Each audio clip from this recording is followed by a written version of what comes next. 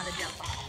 So now like that means one. So you have to make it through the first round clean, and then if you do, and if you don't have any rails, and no time faults, then you advance to the jump off. And some more time About round. speed. At least an hour and a half. Round off here. Probably longer. I would go with probably closer to two hours. Gallop! Oh my gosh.